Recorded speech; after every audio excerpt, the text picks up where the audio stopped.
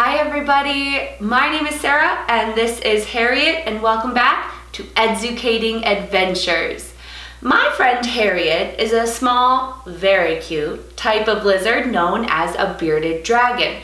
And as much as I would love to spend today talking about bearded dragons, we are going to be talking about a lizard that's quite a bit bigger than Harriet. Today we are going to be learning about the heaviest lizard in the world, the Komodo dragon. Let's get started.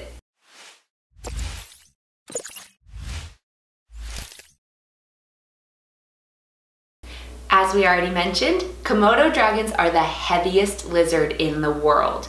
Males are usually larger than females and they average about 150 pounds, but they can grow much larger than that.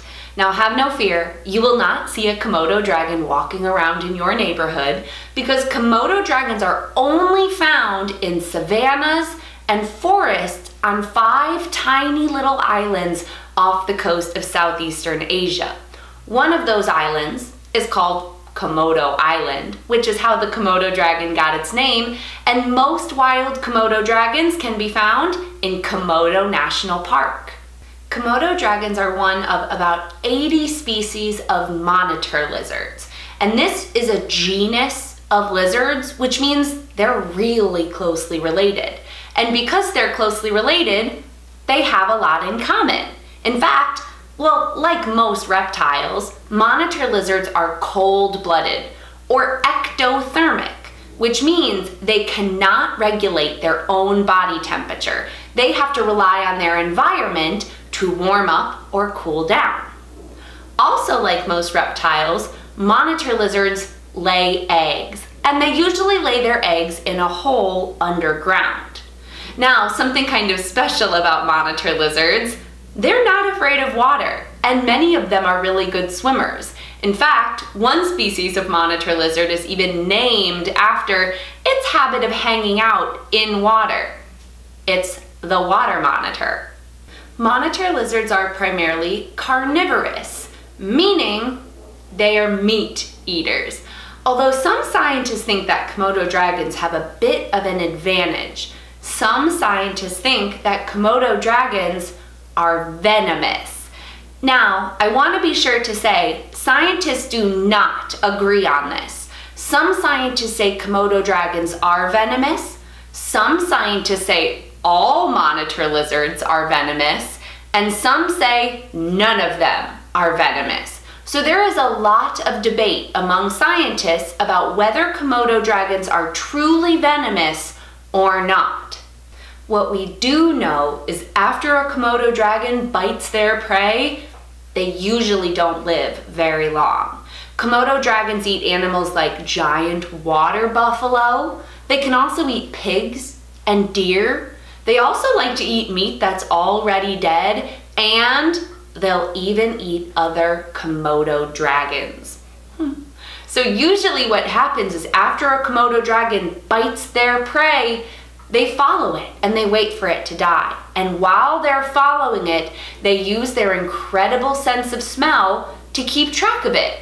Just like snakes, Komodo dragons have a long forked tongue that they can use to pick up smell particles to help them figure out where their prey is going. Young Komodo dragons usually hang out up in the trees.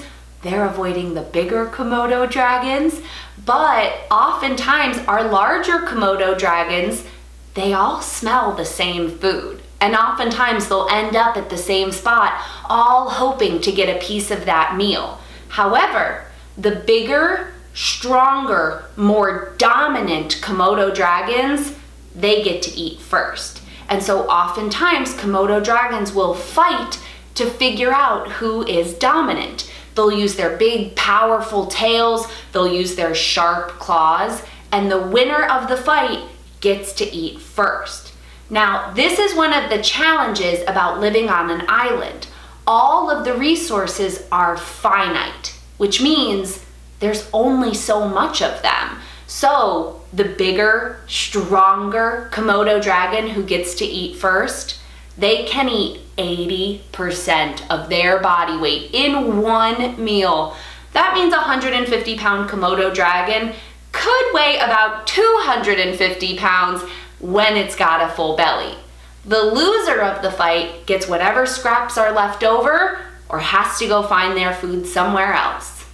Komodo dragons that are displaced by the larger Komodo dragons, they usually have to go somewhere else for new territory or new food. But lucky for them, Komodo dragons are pretty fast. They can run more than 10 miles per hour. And remember, we said they're good swimmers, so they can cross rivers. They can also swim along the coastline to reach new places. Some of the places that Komodo dragons inhabit are also inhabited by people. And the places where Komodo dragons can live are getting smaller and smaller and smaller. However, Komodo National Park is a safe haven for Komodo dragons. They're protected in that area. So we can actually help Komodo dragons. There's only about 3,000 of them left in the wild. We can help Komodo dragons by making donations to Komodo National Park. We can also help our local wildlife by visiting and supporting our local national parks wherever you might live. All right, you guys, thank you so, so much for joining me to learn about Komodo dragons today. If you would like to test your knowledge, or if you would like to do activities or projects about Komodo dragons, be sure to click the link in our description below, and I hope we see you next time at our next Educating Adventure.